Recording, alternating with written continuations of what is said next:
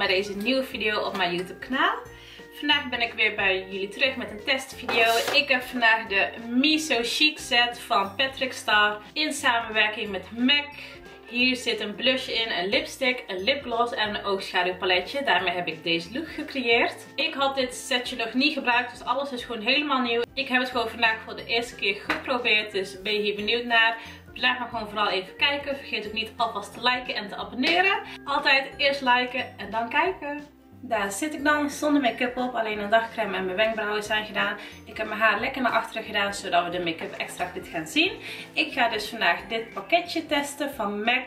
En dit is een samenwerking met Patrick Star. Patrick Star is een YouTuber.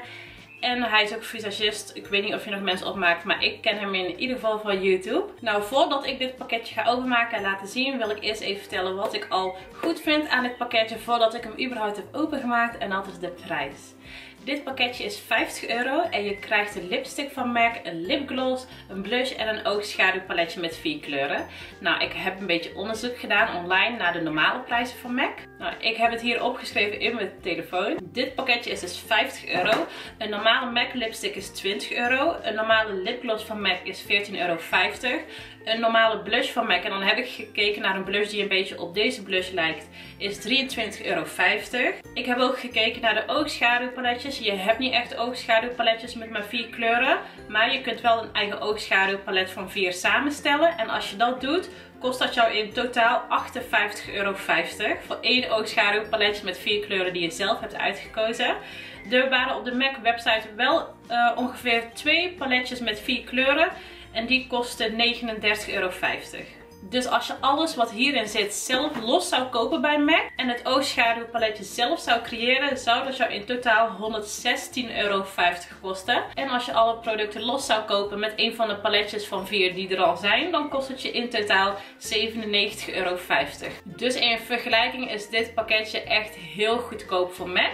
Er is by the way een man in onze tuin aan het werken. Dus als je af en toe geboren hoort, mijn excuses. Hij is nou ook weer aan het boren. Nou, je hebt hier twee varianten van. Je hebt de Miso Chic en de Miso Fleek. Dit is de Miso Chic.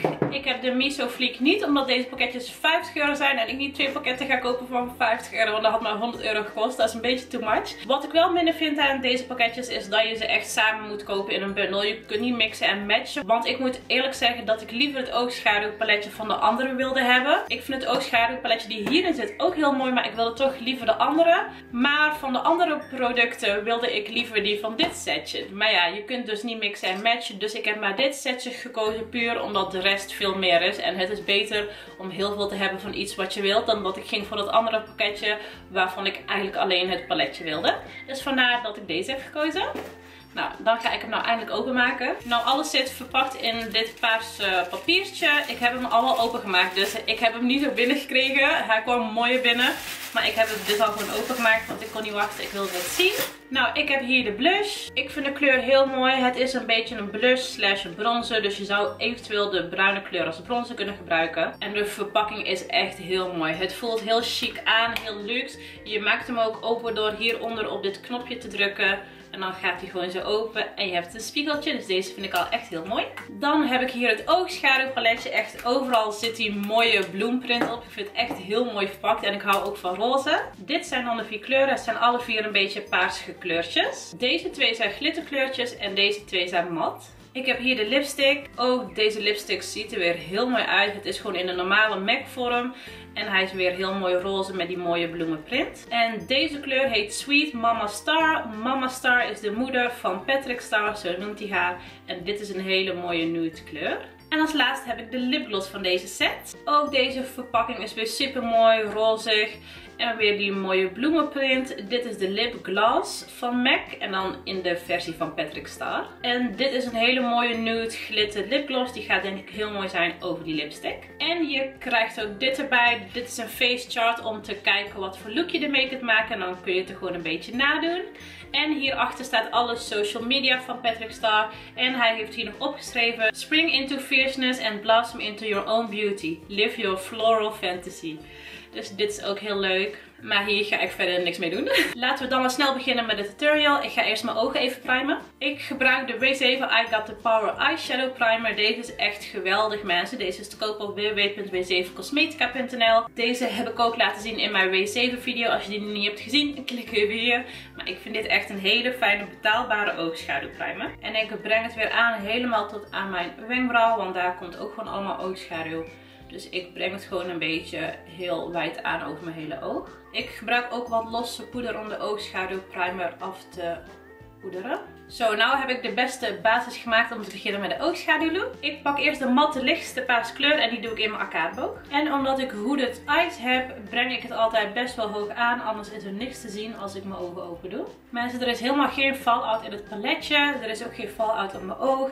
En de kleur is heel mooi en de pigmentatie is heel mooi. Dus tot nu toe gaat het heel goed. Dan pak ik deze matte donkerpaarse kleur. En die ga ik ook in mijn crease doen. En vooral in de buitenste ooghoek om het iets donkerder te maken. Want ik ga vandaag een halve crease maken. Een tip voor alle meiden die iets meer amandelvormige ogen willen. Want dat wil ik ook. Ik heb vrij ronde ogen. Maar ik vind het mooi als je zo die mooie amandelvorm hebt. Breng je oogschaduw in de buitenste hoek zo een beetje omhoog aan. Maak ook een winged eyeliner. Als je dat doet, krijg je hele mooie amandelvormige ogen. Dus vandaar dat ik dat altijd doe, want ik vind dat echt het mooiste. En als je al amandelvormige ogen hebt van jezelf, heb je echt geluk meisje. Heb je echt geluk met die vorm ogen, want ik vind dat echt heel mooi. Zoals je ziet breng ik echt het meeste aan in de buitenste ooghoek. En straks ga ik het een beetje hier naar binnen blenden. Maar ik ga echt niet verder dan ongeveer de helft. Er is echt best wel veel pigmentatie. Dus ik ga echt maar een beetje in het oogschaduwpaletje. En dan komt er al best wel veel kleur vanaf. Dus ga niet helemaal hard hier doorheen swipen. Want dan gaat het echt een puinhoop worden. En gewoon blijven blenden. Blenden kan altijd wel eventjes duren mensen in mijn video's lijkt het altijd alsof ik het allemaal super snel doe. Maar in het echt ben ik echt wel eventjes aan het blenden. Ik heb nou ook niks meer op mijn kwast zitten. Ik ben gewoon puur de oogschaduw die er al zit een beetje naar binnen aan het blenden. Maar ik pak verder geen paarse kleur meer, want ik vind het zo wel gewoon genoeg. Kijk hoe mooi deze matte kleuren zijn. Ik vind dit echt heel mooi. De vier kleuren gaan ook heel mooi samen. En daar hou ik van in oogschaduwpaletjes. Ik wil altijd een volledige look kunnen creëren met één paletje. En dat kan hiermee zeker. Zeg ze hallo tegen iedereen. Zeg eens hallo tegen iedereen op YouTube. Yeah!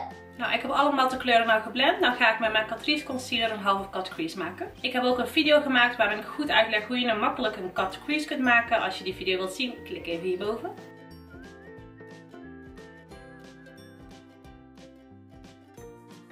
Nou, ik heb de crease helemaal gemaakt. Nou heb ik nog deze twee glitterkleurtjes. Normaal kies ik dan gewoon één van die twee uit en dan breng ik die gewoon aan op de hele plek waar de crease is. Maar omdat dit een tutorial is en ik gewoon alle vier de kleuren wil gebruiken, ga ik eerst deze kleur gebruiken in vooral mijn binnenste ooghoek. En dan deze, die ga ik daarnaast doen. Dus ik ga nou eerst even deze doen. En ik heb de kwast natuurlijk weer nat gemaakt met een fixing spray. Nou, ik hoop dat de glitterkleuren even mooi zijn als de matte kleuren.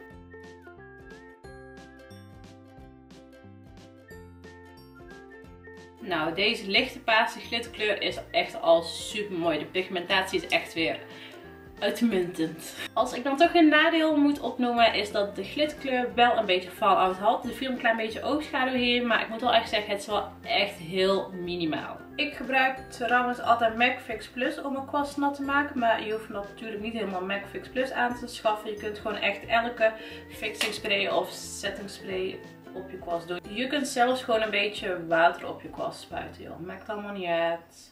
Ik vind gewoon MAC Fix Plus het makkelijkste en het beste, omdat hij ook een beetje plakt. Zoals je kunt zien is er nou hier op het midden van mijn ooglid nog geen oogschaduw. En daar ga ik deze donkerpaarse glitterkleur op doen. Hopelijk is die even mooi en even heftig.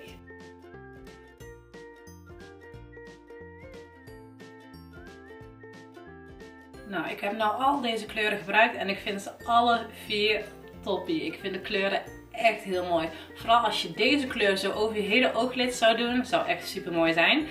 Ik ga dit nou natuurlijk niet zo laten, want nu heb ik gewoon drie strepen op mijn ogen. Ik ga het even uitblenden. Ik gebruik hiervoor deze kleine ronde kwast. Deze kwast is van W7 en heet de Contour Eyeshadow Brush.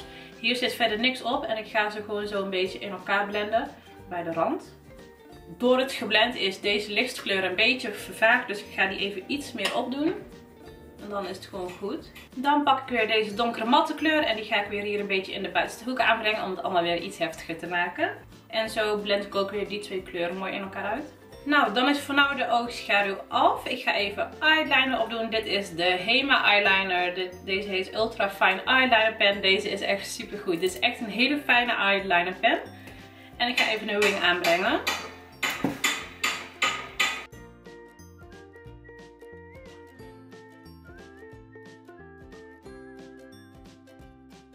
Voor mascara gebruik ik mijn Benefit Bad Girl Bang Mascara. Mijn favoriete mascara op het moment.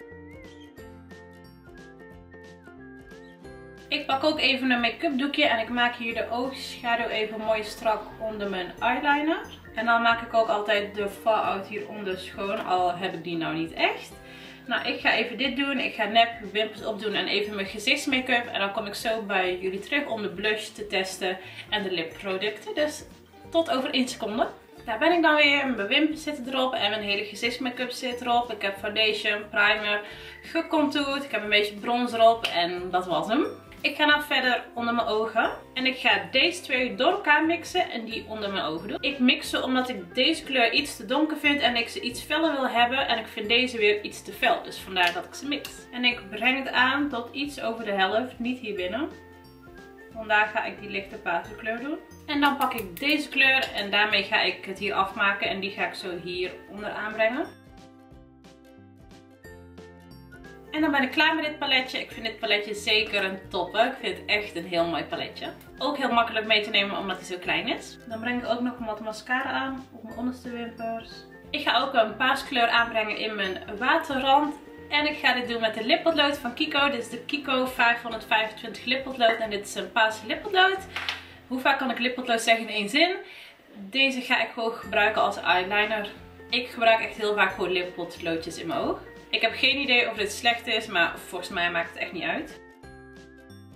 En dan is de ooglook helemaal af. Nou gaan we verder met de andere producten. Nou gaan we dus de blush slash bronzer gebruiken. Ik weet niet echt wat de bedoeling is. Ik weet niet of het de bedoeling is dat je dan dit gebruikt als blush en dit als bronzer. Ik vind dit gedeelte iets te klein om als bronzer te gebruiken. Want ik heb een vrij grote kwast. Dus ik ga dit gewoon helemaal als blush gebruiken. En ik ga gewoon met mijn kwast er gewoon helemaal doorheen. Het is een beetje een peachy kleur beetje meer naar oranje. Ik vind dit wel mooi. Ik heb alleen weer iets te veel gepakt. In elke video weer pak ik te veel blush. Ik moet er echt mee ophouden. Pak niet te veel mensen. Ik ben heel blij dat ze deze kleuren hebben gekozen voor in dit setje. Want deze kleur past perfect bij deze ooglook. Want een roze blush zou hier niet echt goed bij staan. Deze blush heeft trouwens ook een naam en deze heet I'm Blushing. Even de blush iets strakker maken met poeder. Ik gebruik trouwens de W7 Banana poeder. Ik heb echt veel te veel blush opgedaan. Ik ga even snel een highlighter opdoen. Ik ga de Essence Baked Metallic Glow highlighter opdoen, want ik vind deze echt geweldig. Ik krijg trouwens heel vaak vragen over de highlighter kwast die ik gebruik. Ik gebruik altijd deze. Dit is de Boozy Shop Boozy Brush Highlighter 3100. Deze is heel fijn en betaalbaar. Maar ik ben er overgestapt op deze. Dit is de Morphe R36. Deze vind ik iets fijner. Kost wel iets meer, maar niet heel duur. Deze is 10 euro. Deze highlighter is zo mooi.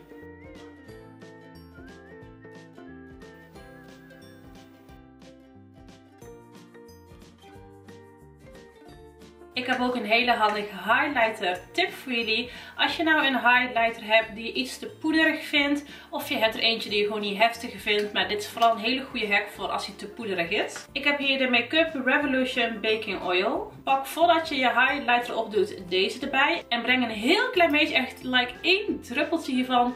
Breng die aan op de plek waar je die highlighter wilt gaan doen. En breng dan pas daarop je highlighter aan. Dan wordt hij veel heftiger en hij wordt vooral minder poederig. Dus deze is zeker heel handig. Ik gebruik deze olie ook vaak als primer als mijn huid extreem droog is. En ik heb deze vandaag ook gemixt met mijn foundation om het iets minder mat te maken. Dus deze is goed voor heel veel dingen. Als je deze zou willen, je kunt die kopen bij beauty88.nl en deze is vrij betaalbaar. Oh, ik vind deze look echt heel mooi. We gaan nou verder met de twee laatste producten. De lipstick en de lipgloss. Ik ga natuurlijk eerst de lipstick opdoen. Gewoon zonder lippotlood niks. Zodat je gewoon goed deze kleur kunt zien. Ik hoop dat ik ook geen lippotlood hoef te gebruiken. Dat hoeft namelijk niet altijd. Vooral als je toch een gloss erbij gaat gebruiken. Hoeft dan niet per se. Oh mijn god, dit is zo een mooie kleur. Ik heb gewoon echt tot nu toe niks slechts te zeggen over heel deze collectie. Deze is heel mooi roze. roze. Deze is heel mooi roze nude-achtig. Hij is niet te licht voor mij, daar ben ik wel blij mee, want meestal is dat wel. En op de website kon ik niet goed zien of hij te licht zou gaan zijn. Maar ik vind hem echt heel mooi. Ik ga nog de gloss erbij aanbrengen. En ik moet ook echt erbij zeggen, deze is heel creamy. Net als de normale MAC lipsticks. En ik ben echt een fan van de MAC lipsticks. Dus ik ben ook zeker een fan van deze. Nou ga ik de lipgloss aanbrengen. Of ook wel genoemd de lipgloss. Deze lijkt me echt heel mooi.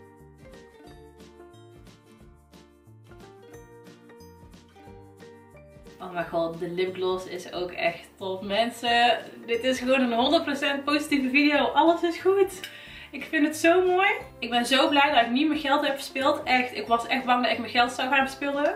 Want vooral op de website leken deze twee vrij licht. En ik hoopte gewoon dat die niet, niet te licht zouden gaan zijn.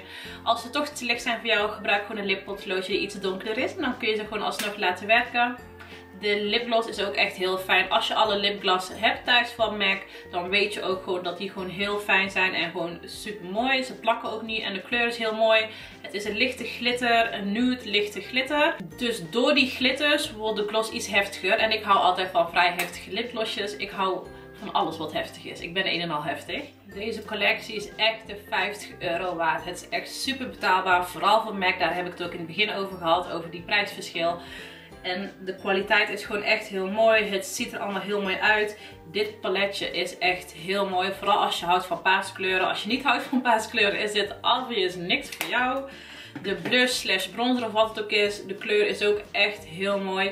Ik vind het ook een beetje een bronzen kleur. Dus je kunt er eventueel wel mee bronzen. Ik zou er eventueel ook gewoon mee kunnen bronzen. Maar ik heb vandaag de Benefit Hula bronzer gebruikt. En de lipstick en de lipgloss. De lipgloss kun je gewoon ook zo opdoen. Of met een andere lipstick. natuurlijk, dit hoeft absoluut niet in een paar. En dit is echt een roze nude. Geen oranje nude, geen bruinige nude. Een roze nude. Dus let daar wel mee op. Als je op zoek bent naar een bruinige nude, vind je deze niet zo mooi.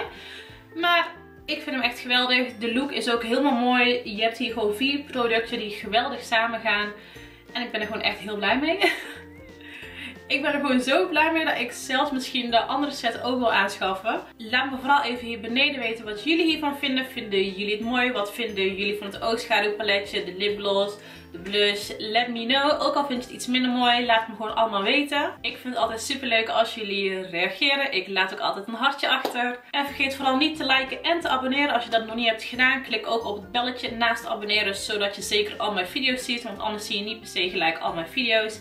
Vergeet me ook vooral niet te volgen op Instagram. Deze look komt daar ook op. En dan plaats ik er ook bij wat ik allemaal heb gebruikt. Dus als je benieuwd bent naar wat ik heb gebruikt, kun je even daar kijken. Ik weet niet of de foto er al op staat als deze video online staat. Maar als je gewoon mij volgt, kom je hem vanzelf tegen. Ik plaats altijd leuke tutorials op Instagram.